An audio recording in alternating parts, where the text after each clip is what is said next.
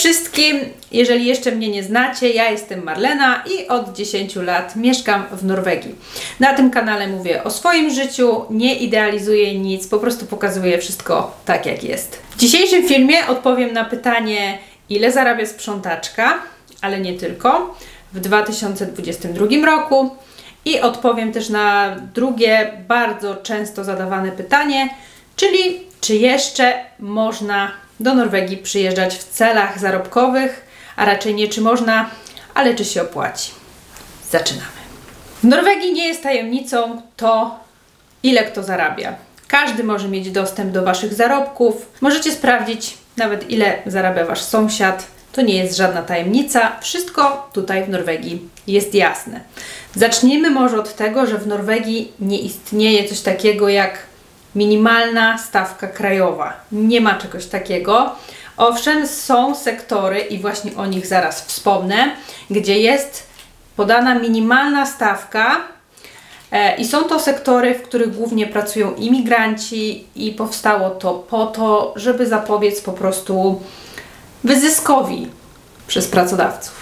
Branże, o których wspomniałam, to m.in. właśnie sprzątanie, budowlanka, kierowcy autobusów, gastronomia. W tym najczęściej pracujemy my, imigranci, dlatego też o tym dzisiaj będę opowiadać. Są to też sektory, do których często niewymagana jest znajomość języka norweskiego w dalszym ciągu. Bo o to też pytacie, czy trzeba znać ten norweski. Oczywiście, jeżeli znacie norweski, bardzo ułatwi Wam to życie, ale z własnego doświadczenia powiem, że z samym angielskim da się tutaj żyć i w dalszym ciągu przyjmują osoby ze znajomością tylko i wyłącznie języka angielskiego. Na pytanie, czy bez języka jakiegokolwiek samym polskim da się znaleźć pracę, zazwyczaj odpowiadam, że nie. Chociaż wiem, że są takie osoby, którym się to udało. Ja szczerze powiedziawszy, nie wyobrażam sobie tego, żebym mogła jechać zamieszkać w jakimś kraju i nie znać żadnego języka, myślę, że byłoby to bardzo trudne i myślę, że przysparzałoby mi to wielu stresów i może kłopotów też. Dlatego polecam chociaż troszkę, ale żeby jednak znać. Bardzo często ludzie żyjący głównie w Polsce, ale nie tylko, zastanawiają się, jak to jest, że sprzątaczka pracująca w Norwegii jest w stanie sobie pozwolić na wakacje, na przykład na Malediwach. I już Wam tłumaczę, jak to wygląda. Dobrze, więc przejdźmy do konkretów. Mam tutaj ściągę. Stawki, które teraz Wam podam, to są stawki minimalne, czyli takie na start. Jeżeli oczywiście w danym sektorze macie doświadczenie, to ta stawka automatycznie będzie wyższa, ale ja o nich nie będę dzisiaj mówić. Mówię tutaj o takiej podstawie, że na przykład przyjeżdżacie do Norwegii, zaczynacie w danym sektorze dopiero pracować i jaką stawkę dostaniecie na start. Sprzątaczka 204,5 korony na godzinę. Gastronomia 179 koron na godzinę. Kierowca autobusu 210 koron na godzinę. Budowlanka 220, godzin, 220 koron na godzinę. I zakładając, że macie cały etat i pracujecie 100%, czyli te 8 godzin dziennie, czyli te 7,5 godziny płatne, bo pół godziny zawsze jest odliczane tutaj w Norwegii na przerwę. I zakładając, że jest 21 dni roboczych w zaokrągleniu w miesiącu, co daje 157,5 godziny na miesiąc.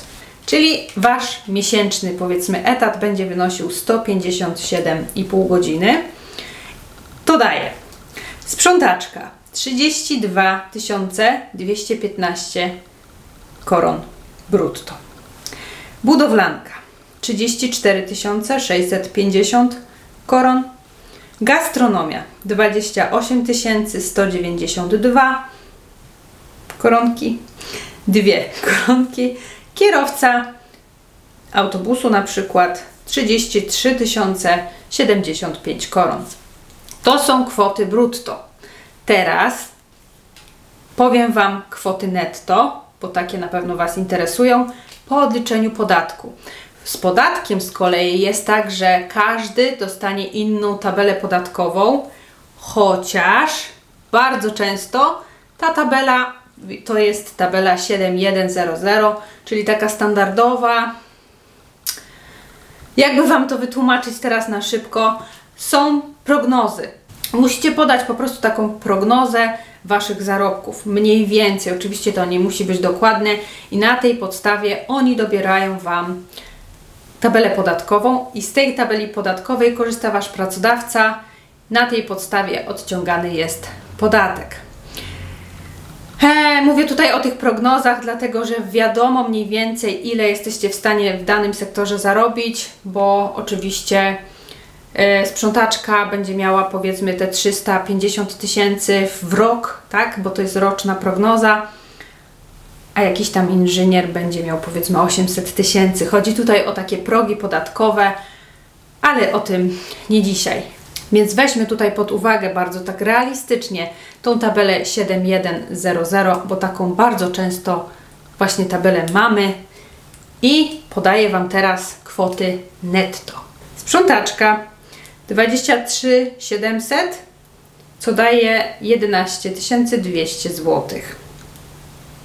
Budowlanka 25 200, co daje prawie 12 tysięcy złotych Gastronomia 21 300, co daje prawie 10 tysięcy złotych. Kierowca 24 250, co daje 11,5 tysiąca złotych. Mówię tutaj o złotówkach, dlatego że bardzo często przeliczacie i wyliczacie i próbujecie sobie za, odpowiedzieć na pytanie, czy to jest dużo, czy to jest mało. No właśnie. Przejdźmy teraz do drugiej części filmu, czyli czy warto przyjechać, jeżeli tak dobrze się zarabia i czy można coś odłożyć, bo trzeba tutaj też pamiętać o tym, że Norwegia jest chyba jednym z najdroższych krajów na świecie i jest tutaj bardzo drogo. Powiem teraz tak. Odkładam swoje pomoce. Moim zdaniem warto, ale nie warto, moim zdaniem, przyjeżdżać tutaj na zarobek, jeżeli jesteście rodziną i macie już dzieci. Bo życie jest tutaj drogie, wszystko jest drogie, przedszkola kosztują. E, tak naprawdę nie widzę tutaj sensu, bo mając tutaj rodzinę i żyjąc tutaj już, no trzeba funkcjonować, tak? Nie jesteśmy tak dyspozycyjni. E, więc tutaj ja bym nie ryzykowała i bym dla zarobku z całą rodziną do Norwegii nie przyjeżdżała. Przyjeżdżałabym jako singielka, jak najbardziej, jako para, która na przykład na sam początek może sobie wynająć pokój, a nie mieszkanie i może w ten sposób dużo pieniędzy zaoszczędzić. Albo jeżeli jesteście rodziną, ale zdecydujecie, że tata przyjeżdża tylko do pracy, a mama z dziećmi zostaje w domu, to wtedy ma sens. E, jak to wygląda finansowo? Tutaj gdzieś Wam wrzucę, nie wiem dokładnie z której strony to się wysuwa. Nagrałam już dwa filmy w tematyce ile kosztują tygodniowe mm, zakupy, a drugi film to jest ile potrzeba pieniędzy na start w Norwegii i te kwoty troszkę nieznacznie się zmieniły, ponieważ y, inflacja, e, ale w dalszym ciągu gdzieś to właśnie w tych granicach oscyluje. Teraz nie będę tutaj dokładnie wszystkich kwot podawać, bo wystarczy sobie te dwa filmy obejrzeć i będziecie mieli rozeznanie.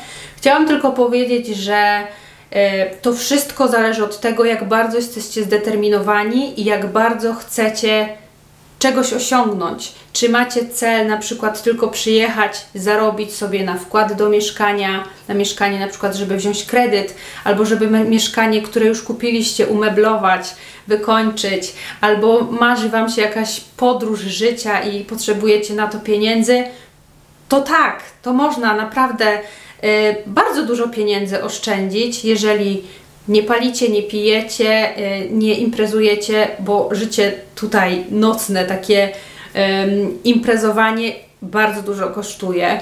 Więc jeżeli Wy y, jesteście w stanie się zaprzeć w sobie i postanowić sobie po prostu, że przez rok, albo chociaż nawet przez pół na sam początek, dajemy z siebie wszystko, jesteśmy dyspozycyjni, to można, jeżeli jesteście parą, wynajmujecie pokój, czyli na przykład nie płacicie za mieszkanie 9 tysięcy, a płacicie 5 e, y, za pokój, tak? I podając tutaj Wam przykłady właśnie ile zarabia na przykład budowlaniec i sprzątaczka. Często są takie tutaj pary, że dziewczyna sprząta, a facet pracuje na budowie.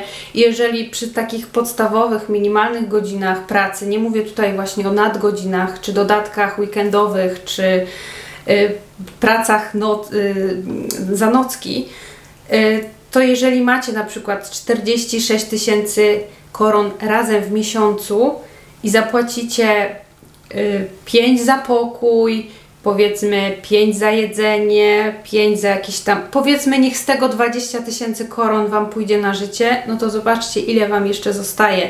Tylko to, tak jak mówię, to wszystko zależy od tego, jak Wy chcecie żyć. Nie będziecie żyli normalnie w luksusie, bo tak się nie da. Jeżeli chcecie coś zarobić, ja jestem tego zdania, jeżeli chcecie zarobić, odłożyć i stąd wyjechać, bo macie taki cel, to ja bym tak robiła. I ja tak robiłam na samym początku, dlatego na samym początku tutaj pobytu w Norwegii ja oszczędziłam najwięcej pieniędzy. Ja oczywiście teraz nie żyję tak, jak żyłam tutaj przez pierwszych kilka miesięcy, bo ja tutaj żyję normalnie. Po tylu latach normalnie mam na myśli, że pozwalam sobie na niektóre przyjemności, na to, co mam ochotę, nie kupuję najtańszego jedzenia, tak robi, jak robiłam to na samym początku i mam nadzieję, że wiecie, co tutaj mam na myśli. Oczywiście e, zaraz zostanie mi zarzucone, że ale jak tak przecież nie da się żyć, nie można mieć wszystkiego i cały czas będę to powtarzać. Jeżeli chcesz coś osiągnąć w życiu, to musisz z czegoś zrezygnować. No więc jak taka sprzątaczka może pojechać na Malediwy? W bardzo prosty, naprawdę nieskomplikowany sposób. Od wypłaty całorocznej zawsze w Norwegii jest odciągane 10,2% dochodu brutto, który jest przeznaczany na feriepenger, czyli wakacyjne pieniądze. Za cały przepracowany rok w roku kolejnym dostajecie tą pulę, którą sobie uzbieraliście. Więc jeżeli zarobiliście powiedzmy 300 tysięcy w roku, to dostaniecie ponad 30 tysięcy koron w roku następnym na wakacje. Tak to tu działa. I chyba nie muszę mówić, że 30 tysięcy koron, czyli jakieś 14 tysięcy złotych, wystarczy na wycieczkę na Malediwy. Pamiętajcie, że ja mówię tutaj ze swojej perspektywy, ja też jestem oszczędną osobą i ja mam trochę taką wizję, że ja wolę teraz, póki jestem młoda i mam siłę, pracować po to, żeby później, ewentualnie, jeżeli dożyję, to żebym mogła później odpoczywać i żebym nie musiała na starość martwić się o to, że muszę sobie dorobić do emerytury, bo mi nie starcza na życie. Um, każdy ma inne podejście do życia, każdy ma inną perspektywę i inne spojrzenie na pieniądze.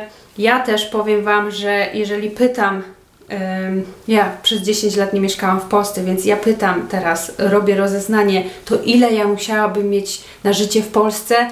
Jeżeli ja zapytam 10 osób, to też 10 osób poda mi inną kwotę i powie mi co innego, dlatego że każdy żyje inaczej i każdy wydaje inaczej. Jeden mi powie, że wystarczy mi na przeżycie 3000 zł, drugi mi powie, że za 5 to nie ma szans, żebym wyżyła w Polsce, trzeci powie, że no dycha to już jest tak ok. Więc wiecie. Dodam tylko, że podczas pandemii bardzo dużo osób zdecydowało się na powrót do kraju, co później zaskutkowało tym, że ludzie są potrzebni do pracy. Tutaj w Norwegii wszystko zaczęło z powrotem hulać, a ludzi już było mniej do pracy.